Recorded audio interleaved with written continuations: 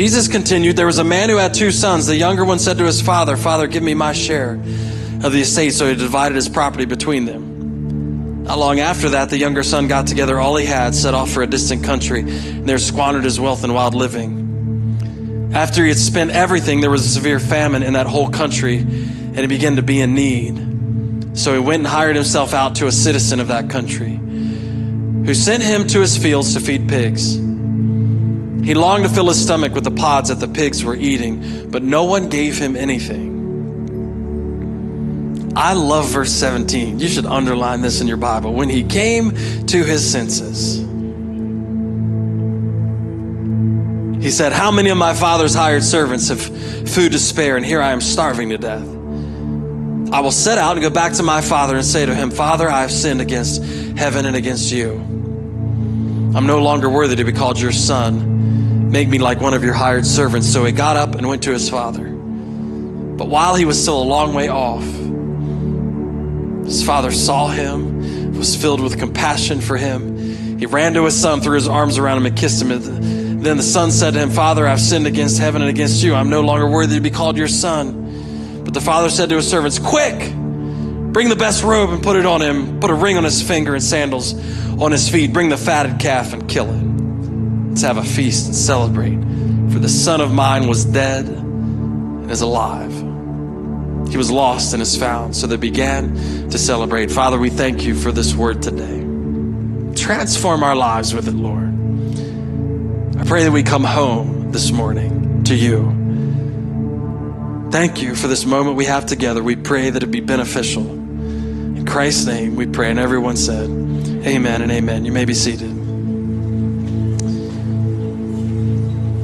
Jesus, um, Luke is recording here a parable that Jesus was teaching. Well, he taught two parables before this on the same subject parable of the lost sheep and the parable of the lost coin. And you find at the beginning of Luke chapter 15 that he had that he had had some tax collectors and, and, and sinners who had gathered around him and he was talking with them. Matter of fact, in, in the first verse of chapter 15, it says, Now the tax collectors and sinners were all gathering around to hear Jesus. But the Pharisees and the teachers of the law muttered. I think that's a funny word. Muttered. If you're muttering, just shut up. But the teachers, Pharisees, and the teachers of the law muttered, This man welcomes sinners and eats with them. And if there's anything you should ever put on your gravestone, it's that. This man welcomes sinners and eats. If we could get the reputation of a church, you know what is fascinating to me is that Jesus could operate in both worlds. He didn't only eat with tax collectors and sinners, and he didn't only eat with Pharisees, he ate with all of them. It's so awesome. If it didn't matter who invited Jesus to dinner, he's like, I'm game. If you're eating, I'm eating. I don't care about your reputation. I don't care about your resume. I don't care about what you did last week. If you're having dinner, I'm there. We could learn something from that. We really could. To the point where people were saying, well, he just hangs around the wrong people. He, he eats with tax collectors and sinners, was the storyline of his life. From the very beginning, God set it up to be that way that Jesus would invite us to him. There wouldn't be a there wouldn't be an uncomfortableness in his presence, but he would invite us to sit and have dinner with him. He would he would welcome those people around him constantly. And here we are today, feeling no condemnation, sitting in the presence of God. Isn't it amazing? That the perfect God of all creation, the one who spoke everything into existence, the one responsible for everything, could come to earth and then invite the least of these to be with him. I told my son one time we were uh, we were in a we were riding together and, and, and a moment happened where we where we had kind of witnessed something. I said I said Carter you you can't be a one trick pony, and, and, I don't even know what that means. Um, I just know it's an old saying. I said, you gotta, you gotta be able to operate in both worlds, man. You can't just hang around one group of people. You, you, can't just hang around people that are like you and, and like you. I said, you need to be able to operate in a whole bunch of different types of environments. You need to operate with people who have less than you and people that have more than you, people that are not as smart as you and people that are way smarter than you. You need to be comfortable in all these environments. You need to be comfortable with people who are more righteous than you and people who don't know what righteousness is. You need to be comfortable with, with all these types of people and be able to operate in these environments. This is a calling of God on our lives, not to be segregationist as far as are you good or bad or are you like me or not like me but to be inclusionist to say, I can, I can eat with anybody. I'm good to go to dinner with anyone. It's Christmas time. I'm good to go to dinner with anyone. and uh, if you've ever, sometimes I feel bad because I will go to lunch with some people sometimes, and especially here recently, if you invite me to lunch and you have a, a job that causes you to have to wear a suit, uh, I'm going to show up with work boots and holes in my jeans. And I didn't buy them like that. So uh, you'll get that later. Some of the millennials in here are like, oh, dude, yeah, I get it. Um, but I, I want to be able to operate in both worlds. And Jesus did that masterfully. He could sit with Pharisees and have conversations about the law, and he could sit with tax collectors and sinners and make them feel welcome enough to eat the food. So, what happens is when this is pointed out, he eats with these people. Jesus teaches some parables. It's parable lost sheep, how valuable it is, parable lost coin. And then he gets, Luke records this really descriptive parable about a lost son. And whether you've been in church or not, I'm sure you've heard the term prodigal son. We have either had one or been one. All of us in the room. And for those of you that don't think you are, you probably are now. We've either been one or raised one. Prodigalness is kind of in our DNA, it's sin. Jesus starts out the parable by saying that the, that the youngest son wanted what he wanted from the dad. And I'm not going to go into a lot of detail about why I think he ran off or what scholars say about it. I will tell you this that he's the younger son, so he was only going to get a third of what the older son would get. Because in that culture, the oldest, the eldest would get twice as much blessing. So if you got two kids and he gets twice as much as the other kid, then he gets two thirds and the and the youngest gets a third, but anyway, he demanded what he demanded. I believe Jesus is painting a great picture of sin here. At the root of all sin is I want what I want. Isn't that true? At the root of all of our sin, it's my will be done, not yours. At the root of everything that separates us from God, it's us getting our way. And so Jesus does a wonderful job of painting a picture to the people that are criticizing him of saying, listen, at the root of everything that's wrong with this is you guys having your way all the time. And, and Jesus then goes to the cross displaying how to break that cycle. Not my will, but yours. And so he starts off in 15 with a parable of saying, listen, the way this guy got into this was demanding his will, and the way you get out of it is accepting his. So, so he starts off this beautiful parable. It's really detailed. This, this guy, this guy demands what he wants when he wants it. The father gives it to him. Let me back up though.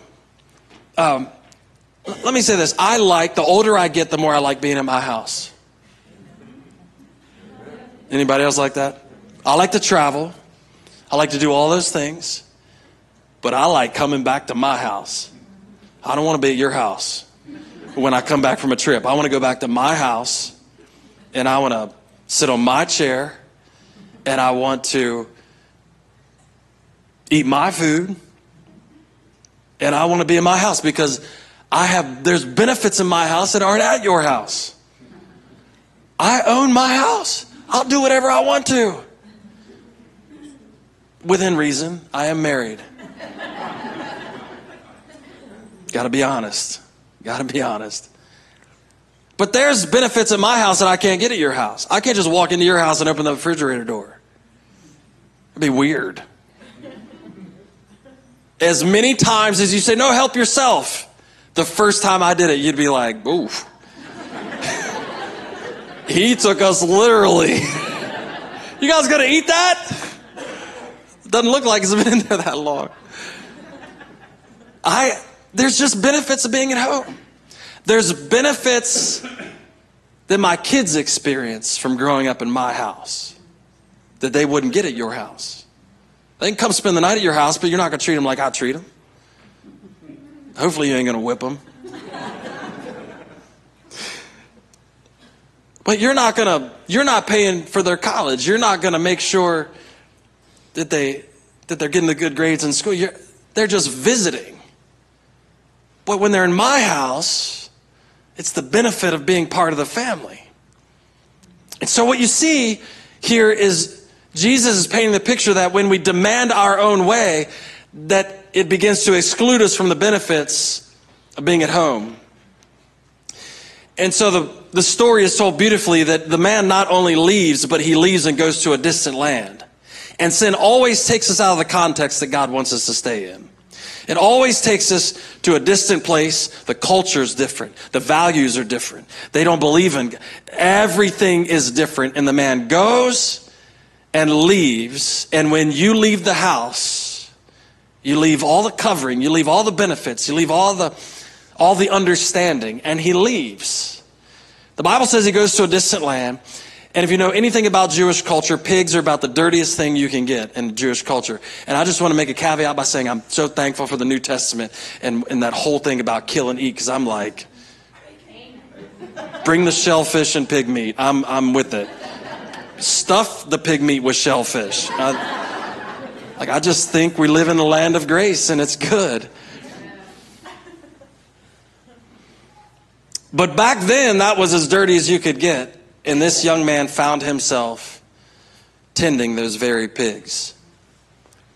And, um, and so he's about as far away from home as you can possibly imagine being, distance wise, culture wise, blessing wise.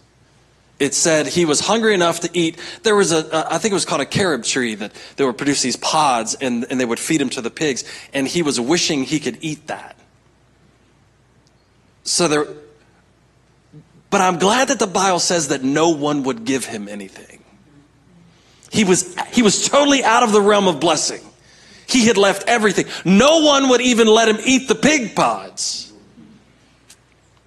And so, so the Bible says in verse 17, which is so beautiful, he came to his senses. When he came to his senses, I just think that's a wonderful phrase when he came to a sense. I think you could superimpose on that when he decided to repent. Because what you see is when he came to his senses, he started doing something different. He, he got up and he started turning and going the other direction. And repentance actually means literally that to, to turn and do something else. Stop what we're doing now and do something else. And so it says, when he came to his senses, he came up with a plan. Jesus painted the picture of sin, of all sin, and then when he came to his senses, Jesus paints the picture of him coming back home. The first thing he thinks about is where he was from. Man, I've sinned and I've ruined it, but now if I could go home. What I need you to understand this more is you were designed to be in a certain spot. You were designed by God to be in relationship with him. You were designed before the foundation of the world, the Bible says. He, Jeremiah writes at the, at the very beginning of his calling, it says that God knew him before he was formed. That's crazy. And you, you know what? You know what the picture is I have in my mind of this? If any of you, well, a lot of you have had kids, and, um, and, and can you remember thinking of your kids before you knew you were pregnant? Like maybe you had the conversation about, about, hey man, we should think about, we should think about having a kid. And you start thinking about the kid before you even know that you're pregnant. The only difference is God actually knows who you are, what you're going to be, what you're going to look like, all your failures, all your successes. He knows all of that. All we know is this kid's got to be awesome. For sure. But God knows us intimately. He tells Jeremiah, I know all this stuff about you before you ever formed. And I called you to do this. So we have to realize that before you were ever born, before your parents ever dreamed about you, before they ever said, Hey, what do you think? God knew you, knew the right space, knew the right environment, knew the right every. He created you for a purpose and a reason. And he put it all together and said, Man, man, if they should never leave this. They should never, this is my will for their lives. It's like home. I can just walk into the will of God and be like, man, this fits. It's my chair. It's my TV. It's at the perfect distance. See, I come into some of your houses, you don't have the TV at the right distance and it's awkward. It's true. You bought into the, I have a 60 inch TV, you're 10 feet away from it, it's going to hurt. Everything's perfect at the house. So what happens is the young man realizes when he comes to his senses, he realizes, I got to go back to where I was meant to be. I got to go back home. I got to go back home. It's difficult coming home, though, sometimes, isn't it? Because everybody knows. Everybody knows. That's like uh, when I was growing up. Um, I think it was my first semester of college. I went to a. Um, oh man, I don't know if I should tell this. I went to a, I, I was, I was living at home commuting and I went to a party and um, it was a Christian party. um, yeah. Uh, anyway, I went to a party and it got out of hand, chaos. And um,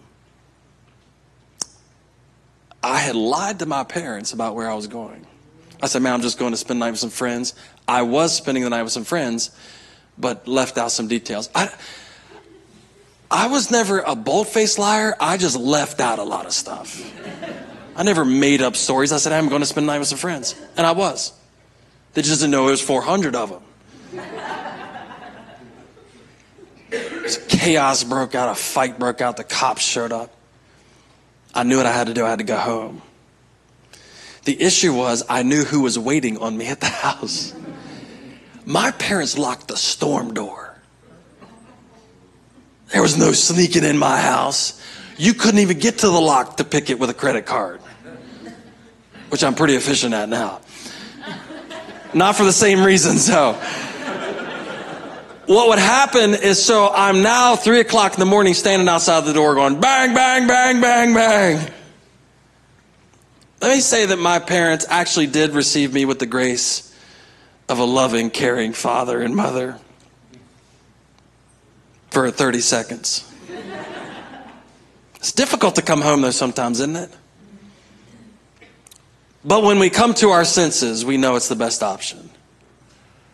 So what happens is he comes to his senses, he, he gets a plan together. He says, um, I'm I'm going to go home. He realizes that people who were not even part of the family were faring better than he was just because they were in the house they were better off than he was. So he said, I'm going to go home. I'm going to admit to my dad that I've sinned against I've sinned against God and him.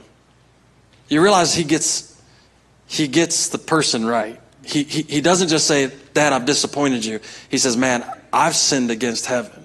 I've sinned against God. He comes to his senses. He repents. He goes back home. And this is the most beautiful part. This is the one I, this is the part that I want to focus on the most. Repentance, well, before we move on, 1 John 1 9, 1 9 says, If we confess our sins, he's faithful and just to forgive us our sins and purify us from all unrighteousness. You know what that means? If you will repent and confess, he'll forgive you every time. Come on, listen. That's better than any insurance you could ever have in your life. Because most insurances are three strikes, you're out. But we're going to raise your rates. We're going to raise your rates. You've had a couple accidents here, Mr. Jones. We're going to raise your rates. He says, if you're, if you will confess your sin, he's faithful and just to forgive you. And it, sometimes I think about that and I ask God, why? Why would you extend yourself like that?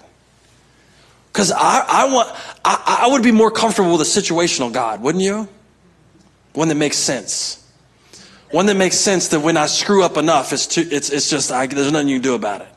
But God is so irrational with His grace, where He says, if you will confess your sin, I'll forgive you. I'll forgive you. I'll forgive you. I'll forgive you. I'll forgive you. And Jesus actually demonstrates it for Peter. How many times am I supposed to forgive somebody, Lord? Seven? Come on, Peter. Don't just forget about the number game here? Jesus throws some astronomical number out, 70 times 7. He's like, well, with this one guy, I'm close. I'm like 470 something. Jesus is being hyperbolic, trying to make sure he understands. Don't put a limit on it. I haven't put a limit on the grace I'm extending you, so don't you do that to someone else either. I'm going to keep, if, you're, if, you, if you will confess, I'll forgive you. He said, I'll set out and go back to my father and say to him, Father, I've sinned against heaven and against you. I'm no longer worthy to be called your son. I want to say this humility is a key to repentance. It's never useful to go back to God and say, Well, I mean, it wasn't all my fault. Remember a couple weeks ago we talked about Thanksgiving was the key to the gate enter his gates with thanksgiving and his courts with praise. If that's if that's all true I, I, was picturing repentance the key to the actual house. Because i can start out my conversation with god like this. Thank you lord that you're gracious. Thank you that you're merciful. Thank you that i'm not dead now. Thank you that you still sustain me. Thank you thank you. God you're amazing. You're you're you're holy. You're worthy. You're you're worth everything god. Thank you. Thanksgiving praise and then i turn to lord forgive me a sinner. I walked through the gate, I walked into the court, and I unlocked the door. And now I'm home. So the, the story goes that he gets up, makes up his mind, comes to his senses, and he, and he walks back. He's, he's unwittingly walking back to a father that's waiting on him. See, that's the concept that we have that, that's hard for us to, to fathom. When we do God the way He does in this picture of the Father, when we treat God the way He's treating His Father, we, we tend to believe that they're not waiting on us anymore, that they've moved on. That they, that they just went, oh, hey, listen, listen, I ran off. It was my fault, whatever. He's not waiting on me. He went on with his life. The reality is, God didn't go anywhere. God didn't go anywhere. It says he was, he was, saw him far off.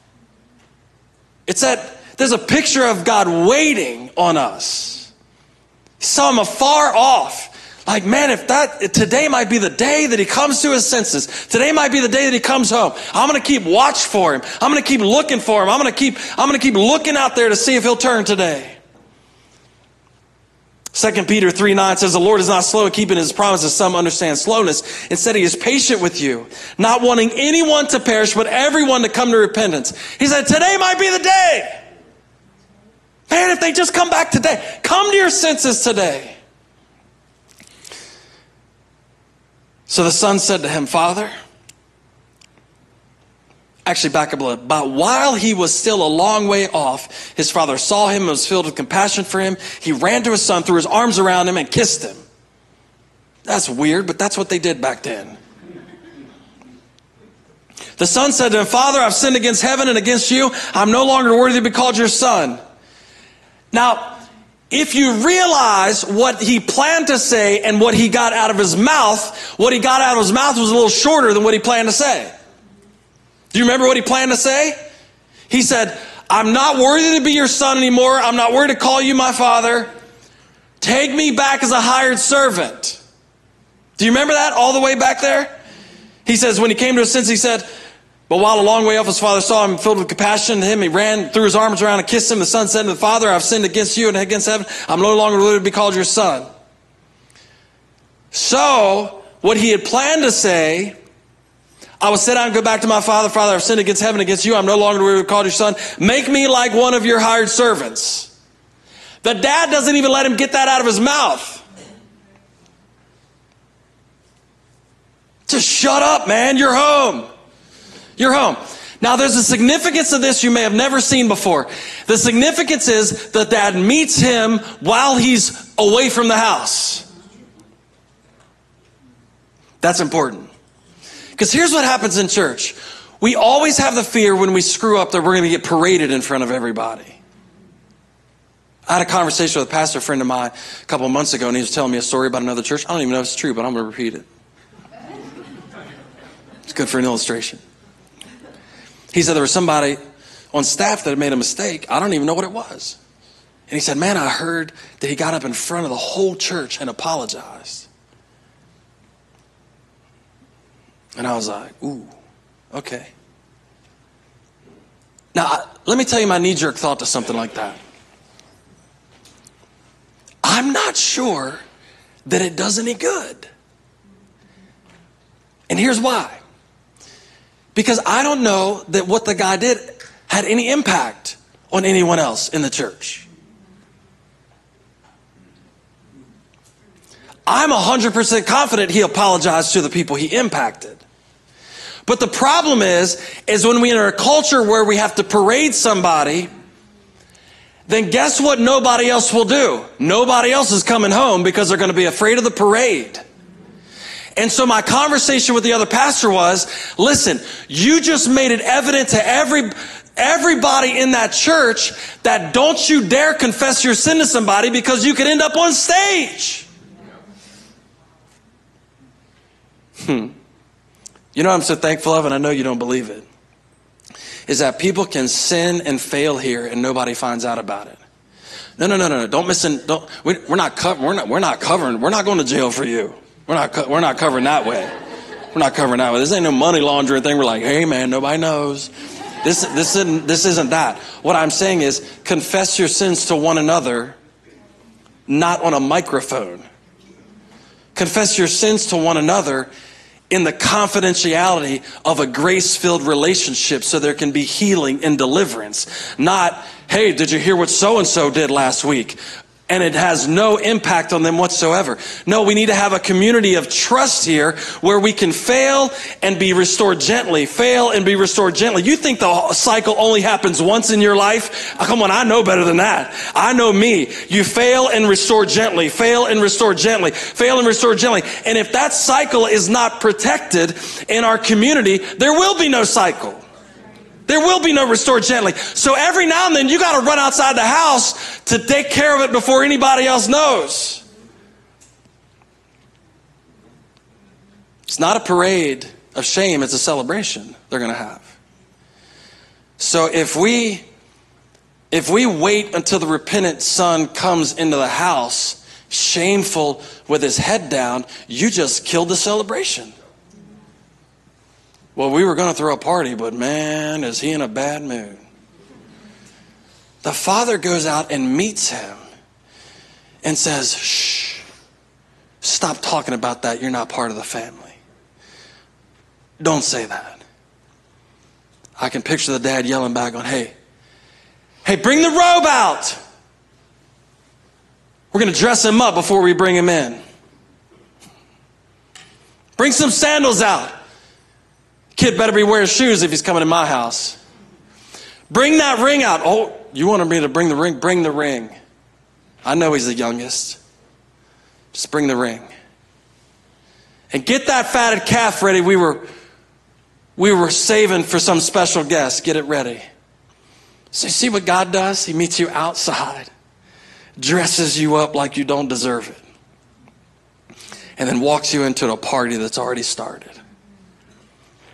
Can I say this to you? If there's shame and guilt beyond forgiveness, it's us, not him. It's us, not him. And I'm so proud to be part of a church that we can all mess up.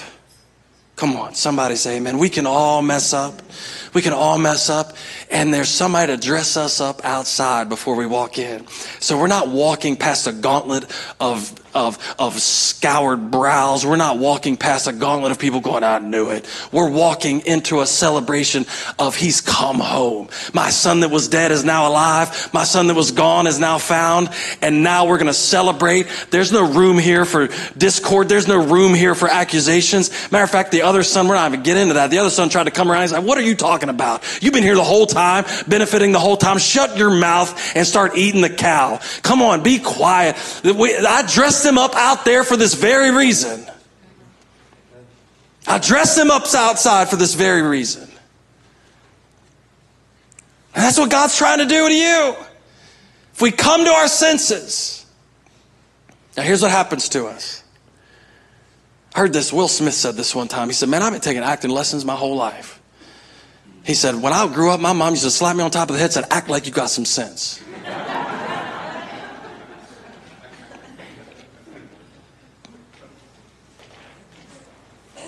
I follow a, uh, a, a, custom home builder on Instagram. I follow a lot of those type of guys, woodworking, custom home builders, those type of things. And I thought it was a quote that he made up, and then I realized he got it from someone else. He got it's a big scientist guy. I don't even know his. He, he's he's a German, I think. Aubrey Aubrey de Grey, and I don't know nothing about him. But he said this: Don't cling to a mistake just because you spent a lot of time making it.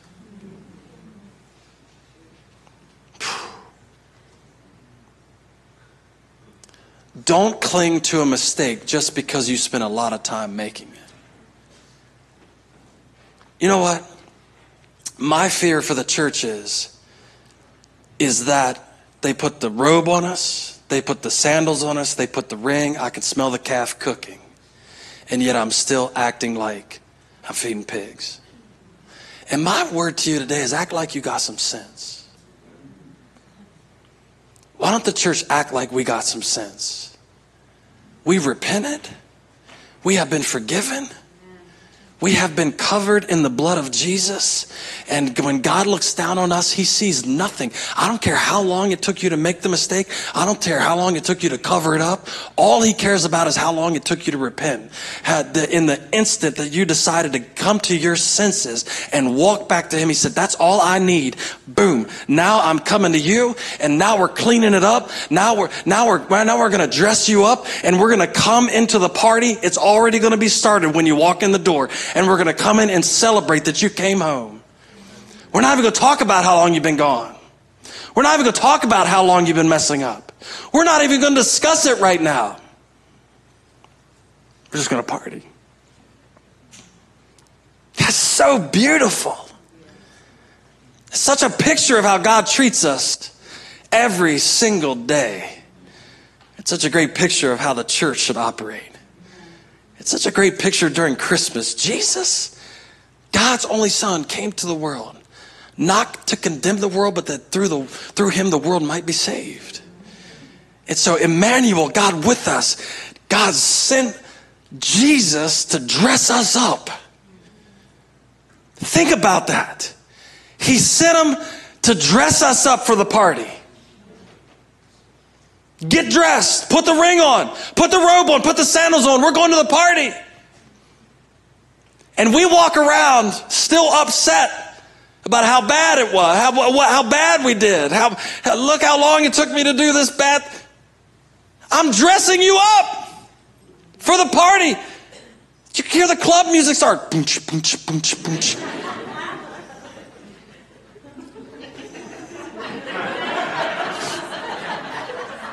We were at Old Navy last night and I was standing behind the guy, the music was playing and he couldn't help himself. He was just like, I was like, bro, I can't, I can't. I'm gonna just stand here and act like I don't see you. I can't, I don't, I don't wanna, I don't wanna flash mob right now. I wanna go eat.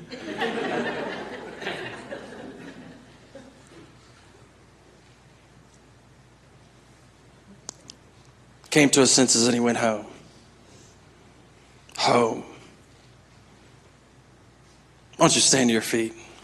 We're going to pray this morning. There's some of you here who were forgiven five years ago and you never forgave yourself. You've been walking around like you got no sense. Some of you are going to decide this morning to turn and go home, repent. Some of you need to celebrate. You need to join in on the party. Can I say this? If the party's for you and you sit over in the corner, ain't nobody gonna have any fun. I wanna celebrate coming home. I wanna celebrate being in the house. I wanna celebrate all the good stuff that's coming with it. Let Him dress us up. Let Him clothe us in righteousness today. Not by my works, not by the only good decision I ever made was to come to my senses. The only good decision I ever made was to go home. It wasn't anything I did, I didn't deserve it. But when I got there and said, I don't deserve it, he went, shh, let me dress you up. Let me dress you up today. We're going to celebrate. Can we do that this morning for a little bit? I just want to give you a couple minutes. Maybe bow your head, close your eyes. I just want to give you a couple minutes. And just let God forgive you again. Just let Him forgive. Maybe it's the first time that you've ever prayed anything like this. Maybe it's the first time and you're saying, Lord, I don't even, I can't even think back how I got here. But I'm coming to my senses this morning. I just want to come back. You just let me come back.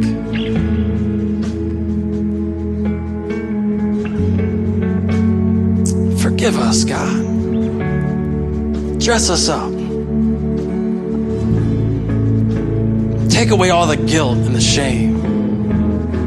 There's no condemnation in Christ Jesus take it all away. Dress us up in clothes we don't deserve. And give us a place that we don't deserve.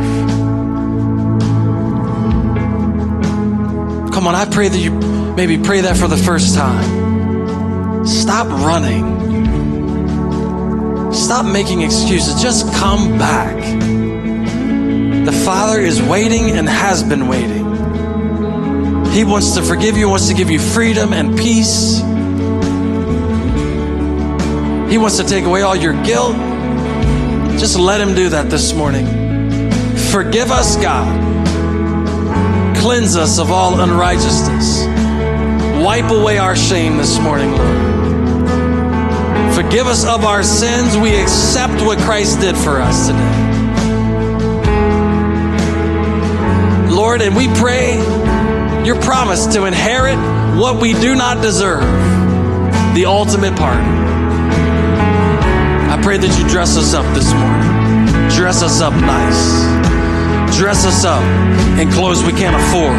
Dress us up in clothes we don't deserve. Dress us up for a party that we shouldn't be having. But your grace and your mercy.